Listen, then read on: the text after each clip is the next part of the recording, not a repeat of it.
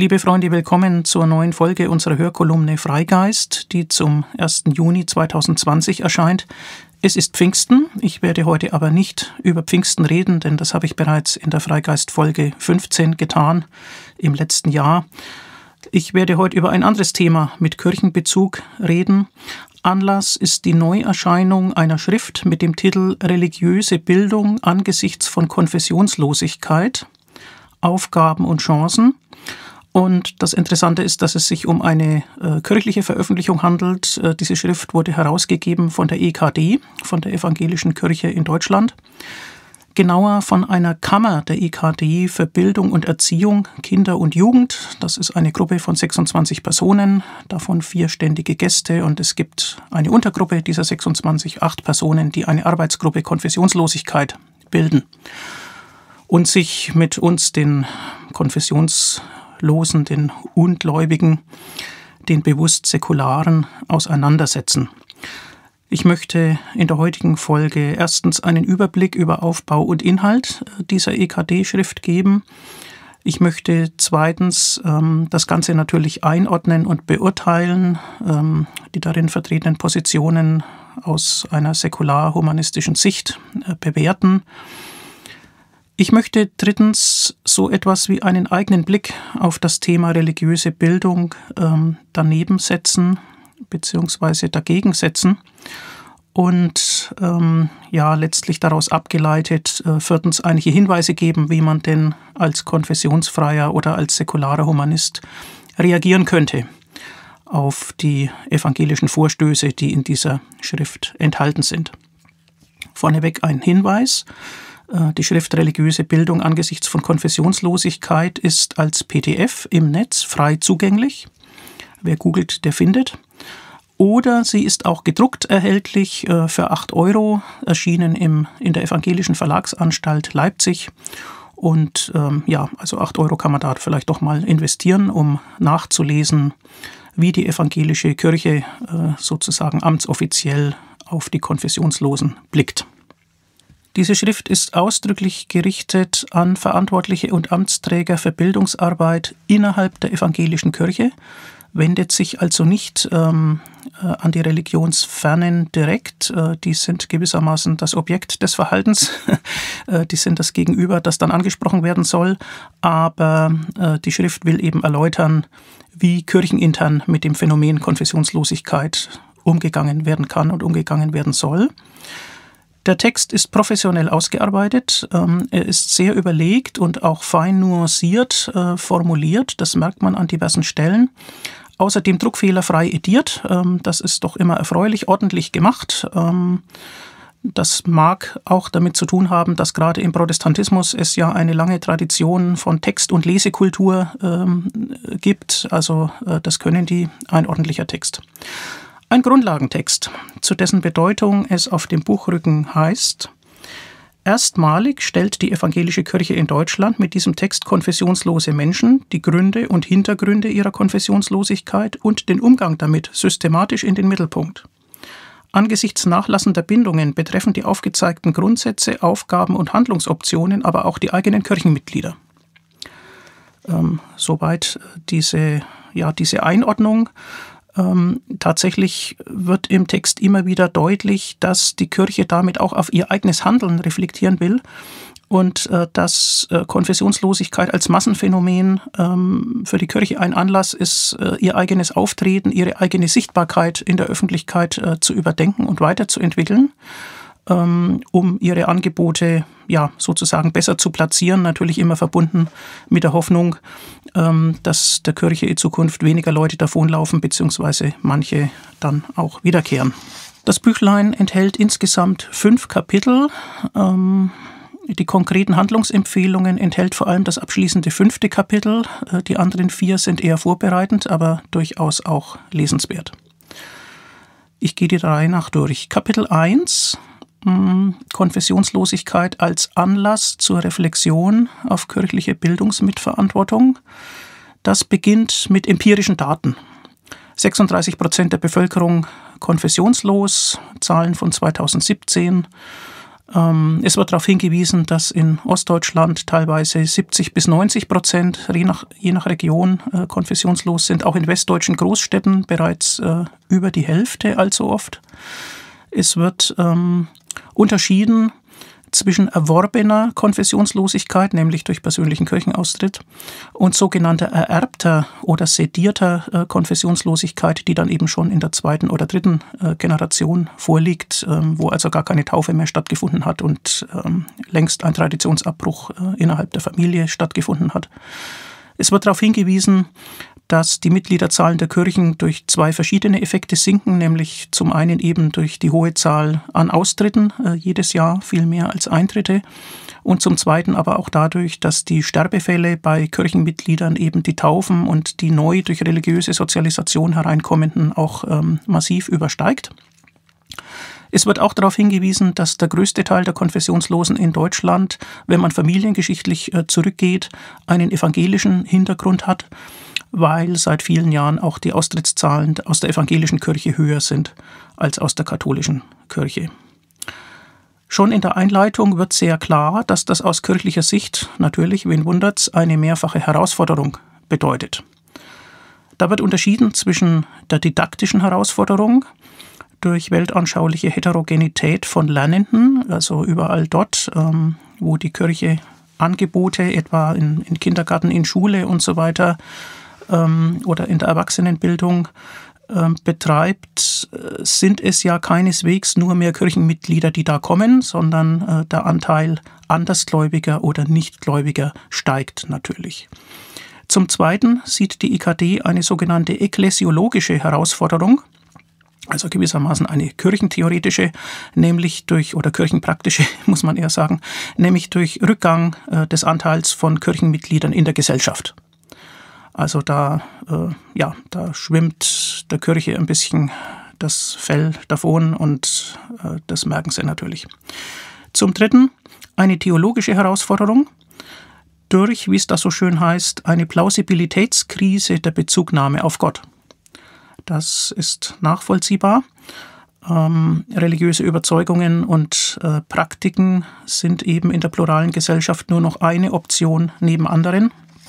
Auch das wird klar gesehen. Und als viertes wird genannt eine Herausforderung lokaler Praxis in globalem Horizont. Äh, damit sind gemeint weltweite Ungleichzeitigkeiten und Verschiebungen in der Gewichtung von Religion. Das ist wohl etwas verklausuliert ausgedrückt und soll darauf hinweisen, dass in anderen Teilen der Welt Kirchenmitgliedschaft äh, gar nicht unbedingt zurückgeht, äh, dass Säkularisierung momentan nicht überall auf der Welt festgestellt werden kann, sondern es im Gegenteil ähm, auch Fundamentalismen gibt, die sich bekanntermaßen stark ausbreiten, sodass die Verhältnisse der evangelischen Kirche in Deutschland äh, keineswegs weltweit äh, verallgemeinert werden können. Ja, speziell im Fokus ähm, ist die Bildungsarbeit, ähm, also die diagnostizierten Probleme aus kirchlicher Sicht betreffen zwar eigentlich alle kirchlichen Handlungsfelder, aber speziell wird in dieser Schrift eben die Bildung in den Blick genommen. Ähm, zwei Gründe werden genannt. Zum ersten, es geht äh, in der Auseinandersetzung mit Glaubensinhalten ohnehin um Lernprozesse. Und zum zweiten, äh, ganz bemerkenswert, ähm, die Bildungsarbeit sei in besonderer Weise geeignet, mit konfessionslosen Menschen in Kontakt zu kommen. Denn tatsächlich muss sich die Kirche überlegen, wie sie an die Desinteressierten oder Ablehnenden äh, denn überhaupt rankommt. Und ähm, da hat man jetzt eben die Bildungsarbeit entdeckt. Schon in der Einleitung wird darauf hingewiesen, dass Konfessionslosigkeit ein Dachbegriff ist, äh, der Differenzierungen nicht nur zulässt, sondern sogar erfordert. Es soll also nicht holzschnittartig äh, gearbeitet werden, sondern man sieht, dass das Spektrum der Konfessionslosen äh, sich sozusagen auffächert. Es wird auch äh, kurz diskutiert, welchen Begriff man da eigentlich verwendet. Ähm, Konfessionslose, das ist nicht deckungsgleich mit Atheisten, auch nicht mit Agnostikern, auch nicht mit religiös Indifferenten oder mit Religionsfernen. Das ist schon wahr, denn es gibt ja Menschen, die aus der Kirche austreten, trotzdem aber gläubig oder sogar bewusst christlich äh, gläubig sind äh, oder bleiben. Ähm, in diesem Spektrum, in dieser ja, neu entdeckten Zielgruppe aus kirchlicher Sicht ist also zu unterscheiden, wie religiös die entsprechenden Menschen noch sind oder wie kirchennah, ob sie noch Angebote der Kirche äh, annehmen, ob sie spirituell auf der Suche sind und die, die das sind, sind natürlich in besonderer Weise äh, interessant, weil ansprechbar für kirchliche Angebote. Ähm, zum Begriff auf Seite 14 wird erläutert, das Attribut konfessionslos meint in diesem Text bezogen auf Individuen zunächst nur dies. Jemand wurde nicht getauft bzw. in eine andere Religionsgemeinschaft aufgenommen oder jemand ist aus der Kirche bzw. einer anderen Religionsgemeinschaft ausgetreten. Mit dem Attribut konfessionslos wird also weder die Art und Weise der Lebensführung und Deutung eines Menschen umfassend charakterisiert, noch ist damit eine Wertung verbunden. Das Attribut ist allein beschreibend auf die Mitgliedschaft bzw. Nichtmitgliedschaft in einer Kirche bzw. Religionsgemeinschaft bezogen. Es geht um Menschen, die ihr Leben ohne Mitgliedschaft in einer Religionsgemeinschaft führen und deuten. Ob sie selbst sich gleichwohl beispielsweise als zugehörig, gläubig oder religiös verstehen oder so verstanden werden können, ist damit weder behauptet noch bestritten. Das gilt es im Einzelfall wahrzunehmen.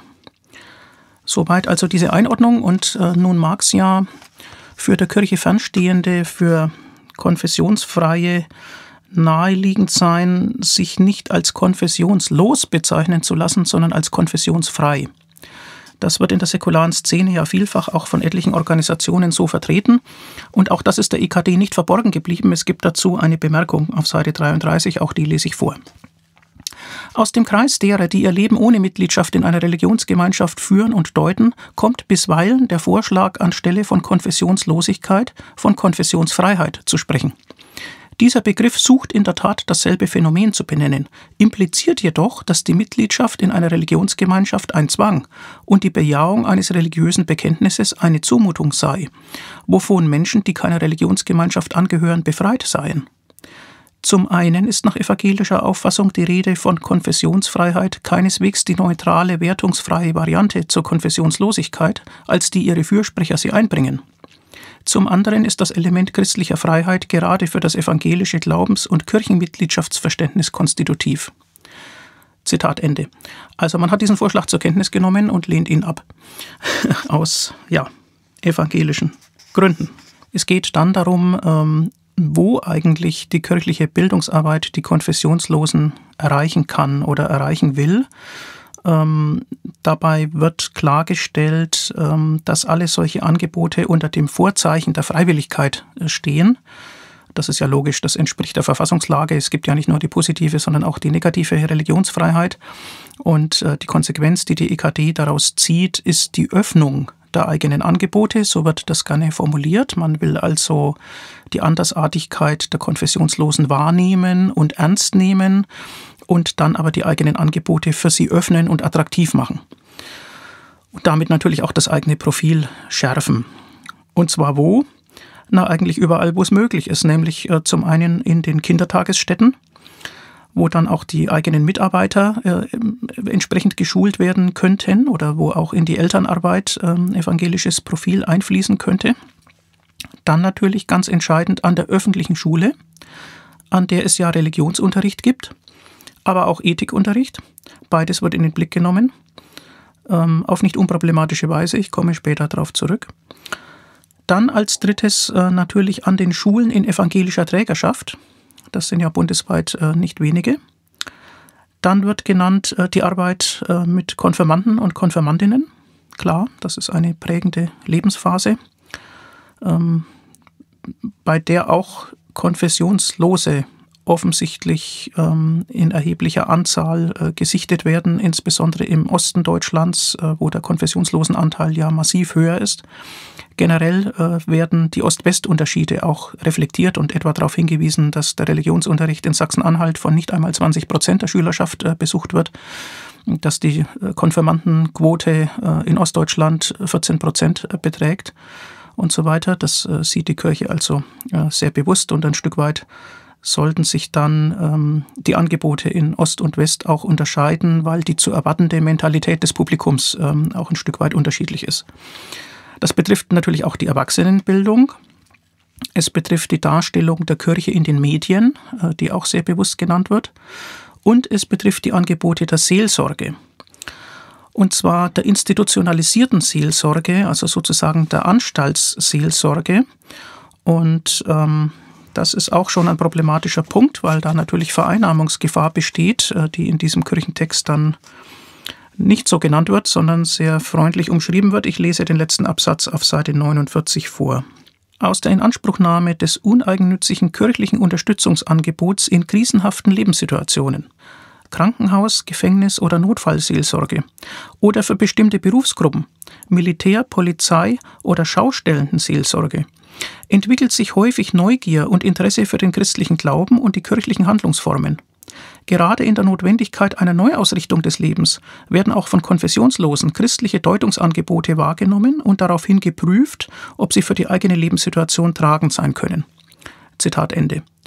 Also Angebot und Prüfung sind natürlich legitim, aber man muss da schon genau hinschauen, ob nicht ähm, einfach durch den institutionellen Zugang und monopolähnliche Strukturen ähm, ja eine Art von schleichender Vereinnahmung ähm, stattfindet. Gut, ähm, die Kirche zeigt in diesem Text, äh, dass sie ein Bewusstsein für den Trend abnehmender Kirchenbindung hat. Ähm, sie sieht und sagt auch sozusagen selbst schon voraus, dass in einigen Jahren die Zahl der Kirchenmitglieder evangelisch und katholisch zusammen in der bundesdeutschen Gesellschaft ähm, auf unter 50 Prozent sinken wird. Und sie hat äh, vor diesem Hintergrund immer auch die Zweifelnden und Distanzierten in den eigenen Reihen äh, mit im Blick. Es wird also mehrfach davor gewarnt, sozusagen es als scharfe Schwarz-Weiß-Grenze zu sehen, äh, ob jetzt die formelle Kirchenmitgliedschaft vorliegt oder noch vorliegt oder schon nicht mehr. Äh, die zugrunde liegenden Denkweisen und Zweifel sind äh, eben hier wie dort ähnlich. Und als Konsequenz äh, wird also halt vorgeschlagen, das kirchliche äh, Bildungshandeln so zu gestalten, dass es sich einladend und aufschlussreich darstellen kann. Soweit Kapitel 1. In Kapitel 2 wird die Konfessionslosigkeit als Thema, wie es so schön heißt, von Theologie und anderen Wissenschaften ähm, zusammengefasst. Also da stehen rechtliche Aspekte äh, nochmal knapp zusammengefasst, religionssoziologische Befunde, wissenssoziologische Aspekte und auch eine theologische Reflexion. Zu den wissenssoziologischen Aspekten wird ausgeführt, ähm, dass in der Gesellschaft äh, der Moderne sich die Plausibilitäten für Weltbildangebote natürlich äh, verändert haben. Also es wird auf nicht religiöse Plausibilitätsstrukturen hingewiesen. ganz zu Recht. das ist zum einen das Gebot der Rationalität, ähm, das ja doch eine dominante Stellung einnimmt. Das ist zum anderen ein naturwissenschaftlich-technischer Tenor, äh, der da genannt wird. Also mit anderen Worten, wenn man Probleme äh, wirksam lösen kann, dann soll man das tun, statt glauben und beten. Und das ist zum dritten eine Norm der Effizienz. Ähm, also tatsächlich sind die Dinge äh, insbesondere im professionellen Bereich ja durchorganisiert.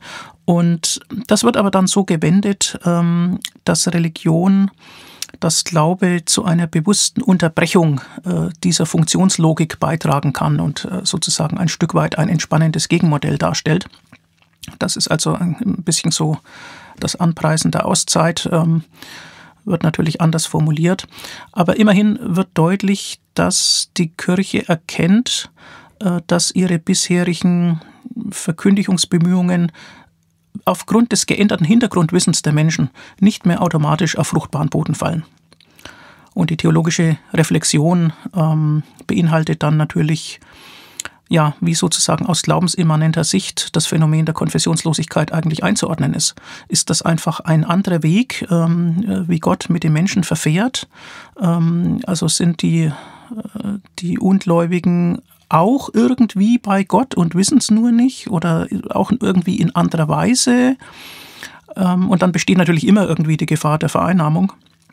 Und äh, vor diesem Hintergrund wird dann auch tatsächlich die Rolle der Konfessionszugehörigkeit in der Geschichte ein Stück weit äh, reflektiert und relativiert, auch im internationalen Vergleich. Das sind also ja, Elemente von Hintergrundwissen, die in diesem Kapitel 2 zur Verfügung gestellt werden. In Kapitel 3 dann äh, geht es um die Optionen und Ziele kirchlichen Bildungshandelns aus Sicht äh, der EKD. Also das bisher war sozusagen Beschreibung, Analyse und Verstehen des Phänomens Konfessionslosigkeit und jetzt geht es darum, was wollen wir denn selber ähm, als evangelische Kirche. Ähm, nämlich es geht um die Reflexion der eigenen Rolle auch um eine Warnung vor Selbstüberschätzung. Und äh, das ist also der erste Aspekt, äh, der da ausgeführt wird. Und das klingt äh, zunächst noch angenehm bescheiden. Ich lese den Abschnitt Öffentlichkeit und partizipatives Selbstverständnis ab Seite 79 unten. Indem Kirche und Theologie konfessionslose Muster der Lebensführung und Deutung ernst nehmen und das Gespräch mit Konfessionslosen suchen, zeigen sie, dass sie ihre veränderte Rolle als gesellschaftliche Akteurinnen unter anderem wahrnehmen, akzeptieren und bewusst gestalten. Kirche und Theologie verstehen sich nicht länger als diejenigen, die der Gesellschaft lediglich oder auch nur primär in einem kritisch-prophetischen Gestus gegenüberstehen, ihr Orientierungen vorgeben können oder ihr gegenüber einen hegemonialen Vorrang beanspruchen, sondern sie verstehen sich als Teil der Gesellschaft, begeben sich offen und wertschätzend in den Dialog mit anderen Akteuren der Gesellschaft, insbesondere mit deren Weltanschauungen und Lebensentwürfen. Sie verstehen sich als gleichberechtigter Teil der Öffentlichkeit und sind dadurch in der Lage, adaptiv zu handeln, symmetrisch zu kommunizieren und eben diese Öffentlichkeit partizipativ mitzugestalten. Zitat Ende.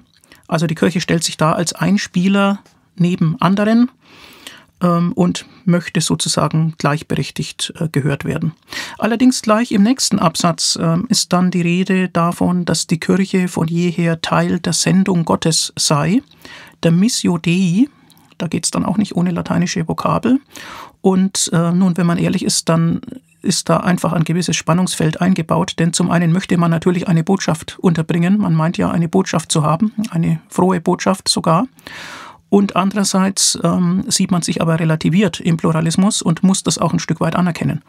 Und dieses Spannungsfeld, naja, das betrifft im Grunde jeden, der mit einer Art von Wahrheitsanspruch in die Öffentlichkeit gehen will. Und so ist das auch in diesem Text durchaus erkennbar.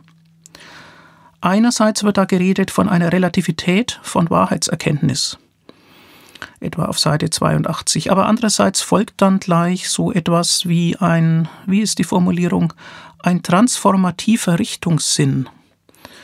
Ähm, also mit anderen Worten, man will schon die Menschen ausrichten.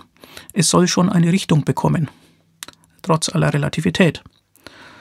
Ähm, ein Fazit bei diesen Optionen und Zielen aus kirchlicher Sicht ist, dass die Begegnung mit dem Evangelium ermöglicht werden soll. Oder in einer neutraleren Formulierung Kommunikation des Evangeliums. Klar kann man sagen, das ist eine Kernaufgabe der Kirche äh, immer gewesen. Und es wird hier immerhin ähm, so gerahmt, dass keine Allzuständigkeit und schon gar keine Alleinzuständigkeit postuliert wird, auch vor dem theologischen Hintergrund, dass man sich dann eben denkt, Gott hat immer noch andere Wege, ähm, als sich der Kirche zu bedienen. Und okay, das entspannt äh, sicherlich ähm, äh, die Verkündigungssituation ein Stück weit. Aber es bleibt doch ein klares Anliegen erkennbar. Als Ziele werden genannt Raum öffnen, also das ist natürlich doppeldeutig, ist sozusagen inhaltlich gemeint, aber eben auch tatsächlich Kirchenräume öffnen für die Begegnung mit Konfessionslosen. Dann die Relevanz des Evangeliums für die Lebensführung erschließen, also für den Einzelnen sozusagen ja, den, den Zusatznutzen, Christ zu sein, äh, deutlich machen. Als drittes die Lebensdienlichkeit des Evangeliums öffentlich ausweisen. Da geht es also jetzt nicht so sehr um die einzelne Lebensgestaltung oder Sinnsuche, sondern letztlich schon um die Rolle der Kirche in der Gesellschaft insgesamt und auch um deren Einflussmöglichkeiten. Das steht da nicht so klar, aber es ist klar, dass es darum geht. Ähm, und als viertes dann die Glaubwürdigkeit der Kirche verbessern. Immer im Zusammenhang eben mit der Rückfrage, wenn man merkt, dass die eigene Botschaft nicht mehr so verfängt, ob das nicht vielleicht auch an der Art und Weise liegt, wie man es anbietet und ähm, wenn man sich da ein Stück weit anpasst, neue Wege findet, dann, so ist die Meinung, steigert das auch äh, die Glaubwürdigkeit der eigenen Organisation. In Kapitel 4 geht es dann darauf aufbauend um die Grundsätze religiöser Bildung. Da werden sechs solche Grundsätze genannt. Die nenne ich auch mal schnell. Nämlich als erstes Chancen statt Verlustorientierung. Ja, dazu heißt es auf Seite 100. Im Blick auf das Thema Konfessionslosigkeit tut es der Kirche und ihren Mitgliedern gut, nicht den früheren, scheinbar besseren Zeiten nachzutrauern, sondern auf die Chancen zu achten, die sich eröffnen. Zitat Ende. Also klar, man kann die Vergangenheit nicht zurückholen. Ähm, Das ist den Autoren des Textes klar. Man will nach vorne schauen. Zweiter Grundsatz, Pluralismusfähigkeit aus Überzeugung, heißt ist da so schön. Und ähm, da wird unter anderem gesagt, dass natürlich ähm, die eigenen Aktivitäten vorläufig und fehlbar sind und die Wahrheit Gottes größer als die eigene Überzeugung. Also auf die Weise kann man gewissermaßen innertheologisch ähm, den Pluralismus verankern. Als drittes wird genannt eine sogenannte Dreisprachigkeit. Nun, das liegt an der speziellen Situation der Kirche. Ähm, die hat einerseits die innerchristliche Ökumene im Blick. Das ist die eine Sprache. Als zweites den interreligiösen Dialog, wo ja sowas wie die Rolle von Jesus Christus oder so dann eben keineswegs mehr selbstverständlich ist, ähm, etwa im, im Dialog mit dem Islam. Und als drittes dann tatsächlich die Ansprache der Konfessionslosen. Und diese drei Sprachen, die sollen eben miteinander verträglich sein und so. Okay. Dann vierter Grundsatz, Positionalität und Offenheit für Dialog. Klar, das haben wir schon illustriert. Als fünftes Streitbarkeit in der Sache und Respekt vor der Person. Äh, das ist eine interessante Kombination. Das äh, haben wir natürlich im säkularhumanistischen Lager auch. Streitbarkeit in der Sache, also man bekennt sich zu seinen Zielen, zu seinen Erkenntnissen und äh, will damit aber nicht ähm, das Gegenüber, das anders geprägt ist, als Person abwerten. Natürlich ist grundsätzlich zu unterscheiden, ähm, auch schon in Argumentationen zwischen einem ähm, Argumentum ad rem und einem Argumentum ad personam. Wenn es um die Sache geht, dann äh, ist es eben nicht wichtig, von welcher Person ein Argument geäußert wird, ähm, und das ist auseinanderzuhalten. Es heißt hier insbesondere, dass das Evangelium menschenfreundlich sei und dass das aber eben nicht mehr unbedingt verstanden wird heutzutage. Das sei eben nicht selbstverständlich und gerade gegenüber Konfessionslosen kann das zu einer Irritation führen. Und da will man eben äh, die produktive Irritation im Sinne des Evangeliums mit Respekt vor der Person. Und der sechste Grundsatz lautet dann Mut und Zuversicht aus Dankbarkeit für die eigenen Erfahrungen. Naja, das wendet sich an die eigenen Leute. Soweit diese sechs Grundsätze. Und nun sind also, äh, ist genug Vorarbeit geleistet, sodass das äh, Kapitel 5 dann die Aufgaben religiöser Bildungsarbeit ähm, auflisten kann. Und ähm, klar, da heißt es zunächst, man muss Prioritäten setzen, ähm, die Blickrichtung wechseln, und mutig experimentieren. Richtet sich auch an die eigenen Leute, weil natürlich die alteingefahrenen Veranstaltungsmuster nicht unbedingt das leisten können, äh, was jetzt hier als neue Aufgabe erkannt wird. Also da wird denen, die was ausprobieren, ein Stück weit auch der Rücken gestärkt. Ja, und dann kommt das Fazit, das ist so eine Art Zehn-Punkte-Programm. Dass es zehn Punkte sind, das ist äh, klar in einer Tradition, wo man auch zehn Gebote hat. Da muss es natürlich die zehn sein. Äh, ist aber auch naturalistisch ganz passend. Wir haben ja zehn Finger. Also warum nicht zehn? Ist ja eine schöne gerade Zahl. Punkt 1. Die religiöse Sozialisation und Erziehung unterstützen. Klar, also dort, wo das Leben beginnt. Rund um die Taufe, natürlich auch mit Einbeziehung äh, der Eltern. Dort ist ein Ansatzpunkt für kirchliches Handeln. Das ist naheliegend, dass Sie das erkannt haben. Punkt 2 religionsbezogene Bildung für Konfessionslose installieren. Ähm, ja, religionsbezogene Bildung. Das ist ein interessanter Terminus, der spielt da eine gewisse Rolle und der ist ein Stück weit ja auch nachvollziehbar. Religionsbezogen heißt zunächst noch nicht konfessionell aufgeladen. Äh, das will nicht vereinnahmend sein, es möchte aber, dass die religiösen Inhalte vorkommen. Das ist ein Stück weit legitim bei einer bedeutenden gesellschaftlichen Gruppe. Ähm, die merken, dass die Aufmerksamkeit im Publikum schwindet. Die möchten natürlich, dass ihr Zeug noch irgendwo vorkommt. Und ähm, da lese ich vielleicht noch mal eine Textstelle vor. Ja, beginnend auf Seite 110 unten. Zu dieser Notwendigkeit religionsbezogener Alphabetisierung aller steht das sogenannte Recht auf negative Religionsfreiheit, Artikel 4 Grundgesetz, in einer gewissen Spannung. Niemand darf und soll in seiner religiös-weltanschaulichen Orientierung fremdbestimmt, manipuliert oder genötigt werden. In allen Segmenten des Bildungssystems steht es Menschen deshalb frei, nicht an konfessioneller religiöser Bildung, im Sinne einer Bildung, an der Religionsgemeinschaften verantwortlich beteiligt sind und die gemäß Artikel 7 Absatz 3 Grundgesetz in Übereinstimmung mit den Grundsätzen der Religionsgemeinschaften praktiziert wird, teilzunehmen. Von religionsbezogener Bildung kann man sich demgegenüber nicht unter Berufung auf Artikel 4 Grundgesetz befreien. Zitat Ende. Ja, das ist nicht unproblematisch, denn das lässt vermuten, dass die religionsbezogene Bildung hier als ein Weg gesehen wird, wie man sozusagen so an die Leute rankommt, dass sie sich nicht wehren können. Und äh, das hat ja einfach eine gute und eine schlechte Seite. Also, dass man Kenntnis über Religion hat, ähm, insbesondere auch aufklärerische Sichtweisen über das Wirken von Religion und über religiöse Deutungsschemata. Äh, das kann man in der Tat als legitimen, wenn nicht gar notwendigen Teil der Bildung erachten. Aber wenn damit, wie von dem konfessionellen Anbieter zu befürchten, ähm, doch sozusagen Nebenziele ähm, verbunden sind, dann kann das problematisch werden. Und das muss einen natürlich fragen lassen, was heißt das denn jetzt konkret? Und äh, das wird im Weiteren auch auch ziemlich klar ausgeführt. Nämlich zum einen wird der Elementarbereich äh, wiederum in den Blick genommen in Kindertagesstätten und da besagt dann das Argument, dass man doch religionsbezogene Bildung für alle brauche, dass das auch bei allen Trägern vorkommen müsse. Ja, das ist doch schon problematisch angesichts der Tatsache, dass es natürlich Trägerprofile gibt, die bewusst nicht religiös sind.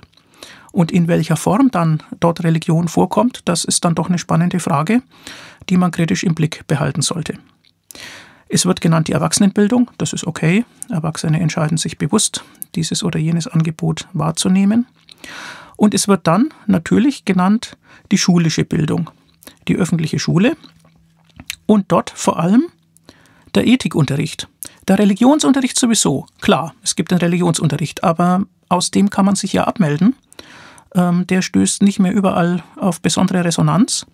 Und dann gibt es ja jeweils, je nach Länderverfassung, entsprechende Ersatzfächer oder Wahlpflichtfächer oder gleichgestellte Fächer. Jedenfalls gibt es Alternativen, ähm, insbesondere den Ethikunterricht. Und da ist es doch sehr aufschlussreich, ähm, genau nachzulesen, was da in diesem Text steht. Seite 114, zweiter Absatz. Erforderlich ist darum erstens die Extensivierung und Intensivierung des religionsbezogenen Unterrichtsanteils im Ersatz- bzw. Alternativfach und damit die Stärkung der religionswissenschaftlichen Aus- und Fortbildung zukünftiger Ethiklehrender. Auch über einzelne authentische Einblicke in Teilgebiete wissenschaftlicher christlicher Theologie an den universitären Fakultäten und Instituten um das zu erreichen, sind zum einen vermehrte und verbesserte Gespräche zwischen Ethik- und Religionslehrenden, Religionspädagoginnen und Ethikdidaktikern und den entsprechenden Fachverbänden erforderlich. Zudem darf der Themenkreis Religion, Religionen im Ethikunterricht nicht einseitig religionskritisch grundiert werden. Zitat Ende. Das ist, wenn man die nicht religiösen Freiheitsinteressen ernst nimmt, eine gefährliche Passage. Da muss man aufpassen, liebe Freunde im Fachverband Ethik. Passt auf, ob ihr da nicht unterwandert werdet, ob ihr nicht unter ja, der freundlichen Annäherung des Dialogs eure Inhalte in Frage gestellt bekommt. Denn ähm, hier soll, heißt es ja ganz klar, Religion nicht einseitig religionskritisch grundiert werden. Mit anderen Worten, Religion soll auch positiv vorkommen, auch im Ethikunterricht, äh, damit man auch die nicht religiösen Schüler erreicht. Und das soll offensichtlich auch schon in der Lehrerausbildung eine entscheidende Rolle spielen. Und das führt dann letztlich zu einer Vermischung des Profils zwischen staatlich verantworteten, weltanschaulich neutralem Ethik- oder Werteunterricht einerseits und den konfessionellen Religionsfächern andererseits. Und das wird in der Schrift auch relativ klar gesagt, dass man da ja äh, dialogoffen ist und dass die beiden Fächer ohnehin aufeinander bezogen sind und so weiter. Das heißt also mit anderen Worten, die Kirche hat im Blick, dass wenn sich die Logik der Schulfächer ein Stück weit ändert und es dann übergreifende integrative ähm, Wertefächer gibt, ähm, dass sie dann also mit ihren religiösen Inhalten ähm, auch prägend mit vorkommen will. Und da muss man einfach im Blick behalten, inwieweit das ja legitime Information ist. Selbstverständlich war Religion über weite Strecken der Kulturentwicklung hinweg ein, ein dominantes Phänomen. Äh, das soll man nicht ausblenden, ja, das soll man nicht totschweigen. Es soll schon vorkommen. Aber die Frage ist eben, wie es vorkommt.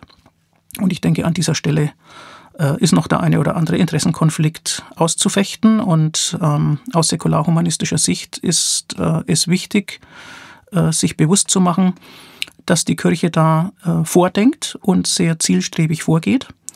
Und dann hängt es halt äh, davon ab, ob sie auf Gegenkräfte stößt oder ob sie da einfach durchmarschieren kann. Da muss man aufpassen.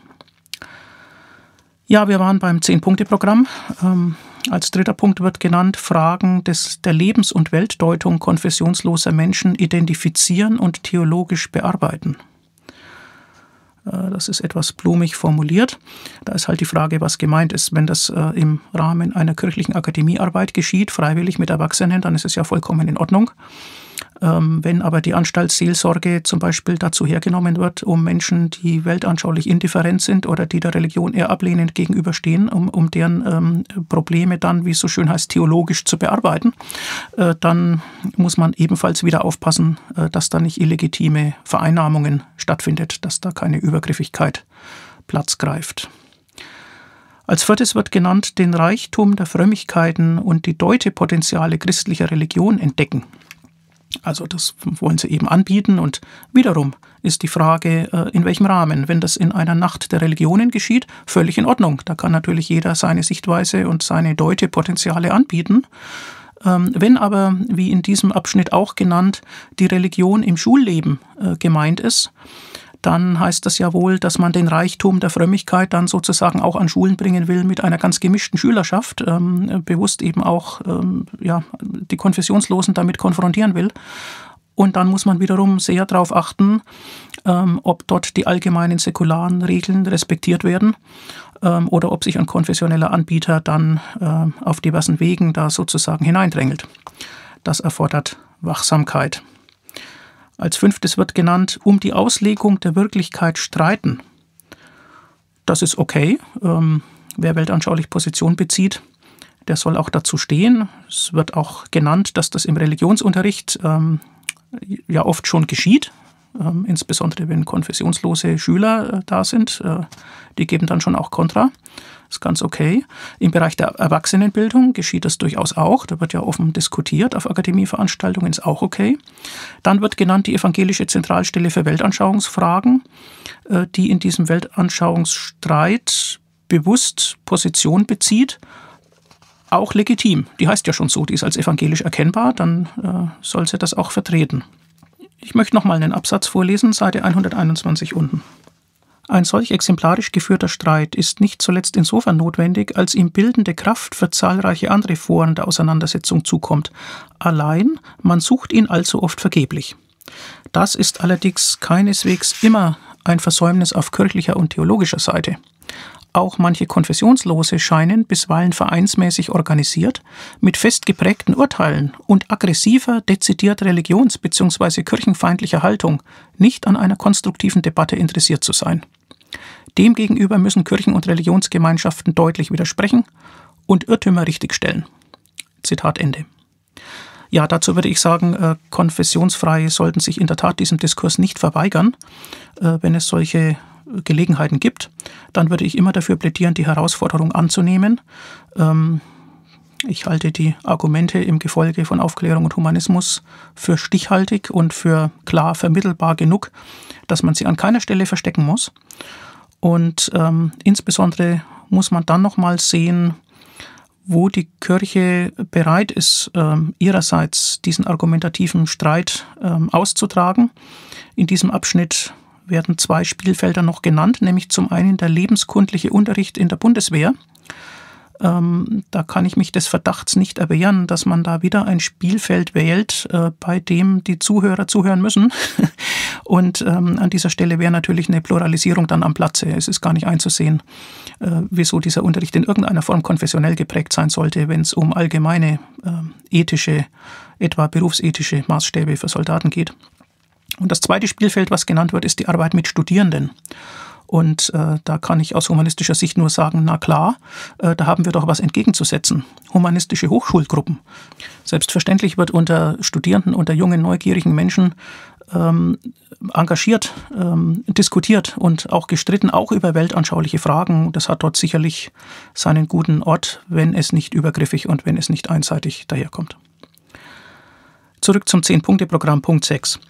Kulturelle Zeugnisse des christlichen Abendlandes erschließen.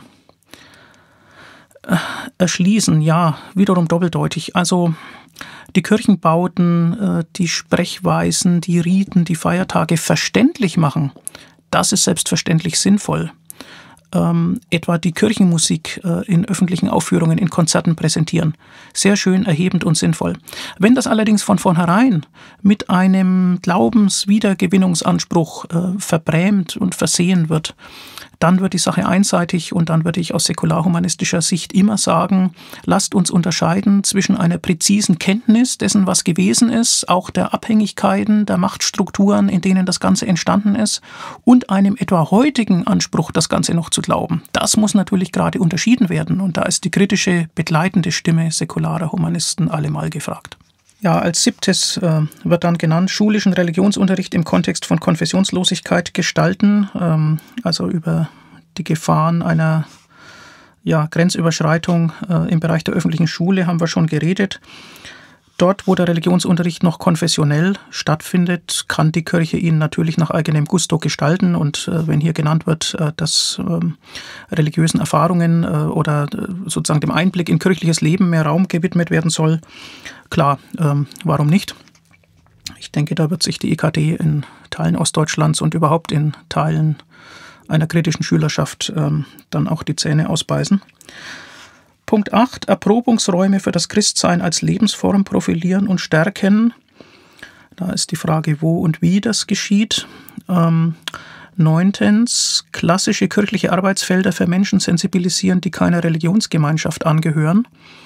Sensibilisieren ist immer gut. Ähm, wie gesagt, es ist halt äh, dann die Frage, ob ähm, Feierstunden so stattfinden, ähm, wie etwa bei einem Sterbefall die Angehörigen sich das wünschen und welcher Ton da gepflegt wird und äh, wie das so ist mit der Anstaltsseelsorge, da muss man eben genau hinschauen. Zehntens, über Kirche aufklären und um Unterstützung sowie Mitgliedschaft oder Zugehörigkeit werben. Ja, über Kirche aufklären, wer könnte was dagegen haben? Und ähm, dass die Kirche ähm, für Mitgliedschaft wirbt, das ist legitim. Das ist ihr gutes Recht. Das waren also diese zehn Schritte, äh, die da zu erwarten sind. Ich weise nochmal darauf hin, dass diese Schrift ans eigene kirchliche Personal gerichtet ist ähm, und dass die EKD eben die Lage erkannt hat, also sozusagen die schwindende Resonanz ihrer Angebote und äh, die sich ändernde weltanschauliche Zusammensetzung und Prägung äh, der Gesellschaft und sie gehen strategisch damit um. Ja, das dürfen sie. Und jetzt drängt sich natürlich die Gegenfrage auf, was ist denn bei den säkularen Humanisten? Gehen die auch entsprechend strategisch vor?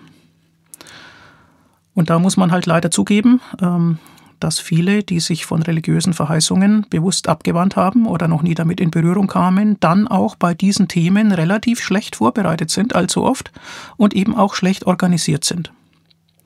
Mein Appell wäre, keine Gleichgültigkeit gegenüber diesen Themen kein Ignorieren.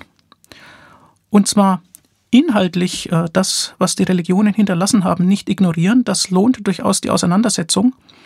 Und dann aber auch äh, sozusagen die Machtspielchen bis in den politischen Bereich hinein, äh, die strategischen Überlegungen, die von einer durchaus noch lebendigen konfessionellen Organisation ausgehen, auch nicht ignorieren, auch dem gegenüber keine Gleichgültigkeit, sondern den bewussten, wachen Blick und äh, das Einfordern Grenzen einzuhalten, äh, die durch die säkulare Ordnung, die alleine für alle Verbindlichkeit beanspruchen kann, gesetzt sind. Ja, und wenn man nun den säkularen Humanismus seinerseits als Weltanschauung versteht und akzentuieren will, wie soll man den dann in die Öffentlichkeit bringen? Da plädiere ich für eine Grundeinstellung, die sich genau symmetrisch zu dem verhält, was die Kirche betreibt und ankündigt. Denn die Problemsituation ist ja auch symmetrisch. Es gibt eine oftmals gleichgültige, nur halb informierte Öffentlichkeit und man meint doch, dass man ein Konzept hat, wenn man sich bewusst zu einer Weltanschauung bekennt, das anderen Konzepten vielleicht überlegen ist, das den Menschen nützen kann, das der Weiterentwicklung der menschlichen Kultur dient. Und das gilt nun einfach für den säkularen Humanismus auch. Ähm, es ginge also darum, klar und unzweideutig zu vertreten, dass Rationalität und Empirie Kontrollinstanzen sind dafür, was man denn für wahr halten kann, dafür, woran man sich denn festhalten kann, worauf man vertrauen kann. Da werden keine Sonderlehren vertreten über die Stellung des Menschen in der Welt, keine Schuld- und Sühnedynamik, sondern die Klarheit und die Einfachheit ähm, eines naturalistischen Welt- und Menschenbildes sind doch durchaus positiv ins Licht zu setzen. Und ich würde dafür plädieren, natürlich andere dafür versuchen zu gewinnen, aber in unaufdringlicher Weise. Aufklärung kommt nicht von selbst, sie braucht Angebote. Und wenn von einer, ja, wenn von einer Heilsbotschaft evangelischerseits die Rede ist, dann würde ich sagen, auch säkulare Humanisten haben eine Botschaft, aber das ist eben nicht eine, die von oben kommt. Es ist eine, die von innen kommt. Die humanistische Substanz ist selbstverständlich ohne so eine metaphysische Aufladung, ohne Transzendenz, ohne doppelten Boden, ohne die Annahme, dass die Welt eine Hinterbühne hat, wo irgendeine höhere Intelligenz die Dinge schon steuert, zu verstehen. Ja, die Aufklärung kann die Welt heller machen. Kulturelle Deutungen, die haben wir selbstverständlich auch. Da lassen sich die bisherigen Phänomene historisch einordnen und das sollte man dann durchaus auch tun und man sollte die religiösen Äußerungen, die sich darum kümmern, im öffentlichen Raum niemals unerwidert lassen. Das heißt nicht, dass man inhaltlich immer widersprechen muss. Man soll genau zuhören und die Dinge prüfen. Aber man soll nicht schweigen. Nicht unerwidert lassen, sondern die eigene Position beziehen. Und dabei durchaus auf den schwankenden intellektuellen Boden hinweisen den so manches religiöse Angebot niemals verlassen hat, insbesondere logische Widersprüche offenlegen, etwa was die Eigenschaften eines behaupteten, allmächtigen, allwissenden und dann auch noch gütigen Gottes angeht, und auch die Haltlosigkeit benennen, die so manchem theologischen Argument innewohnt, und im direkten Gespräch immer auch Antworten einfordern. Ähm, Antworten auf Fragen, wie stellst du dir das eigentlich genau vor? Wie verhält sich das denn mit Ursache-Wirkungsrelationen, die uns in der Welt begegnen, die wir erforschen können? Wie verträgt sich dieses und jenes denn mit unserem wissenschaftlichen Hintergrundwissen, das über Jahrhunderte mühsam erarbeitet wurde? Und dabei würde ich auch dafür plädieren, Ausflüchte anzuprangern, Ausflüchte, die allzu oft in solchen Gesprächen dann mal schnell dadurch entstehen, dass dann die Ebene gewechselt wird. Gerade war es noch das rationale Argument, dann geht es plötzlich um die Lebenspraxis oder um das Gefühl. Da muss man darauf hinweisen, da darf man sich nicht irreführen lassen und vereinnahmen lassen darf man sich ohnehin nicht. Das Ganze wird selbstverständlich aus humanistischer Sicht immer von einer menschenfreundlichen, von einer zugewandten, von einer verständnisvollen Grundeinstellung geprägt sein. Weil wir ja wissen, dass wir als Menschen unfertige Produkte der Evolution sind, dass wir Bedürfnisse haben, die wir nicht immer perfekt befriedigen können, dass wir nicht alles im Griff haben, dass wir emotional geprägt sind, biografisch geprägt und dass wir deswegen unseren Mitmenschen immer auch ihre Schwächen bereit sein sollten zu verzeihen. Ja, auf dieser Grundlage mit klarem Argument und mit klarem mitmenschlichen Sinn kann dann, denke ich, so etwas entstehen wie ein kritischer Dialog in weltanschaulicher Bewusstheit. Soweit Gedanken, zu denen ich angeregt wurde durch eine Grundlagenschrift der EKD. Vielen Dank fürs Zuhören und fürs Mitdenken. Bis zum nächsten Mal.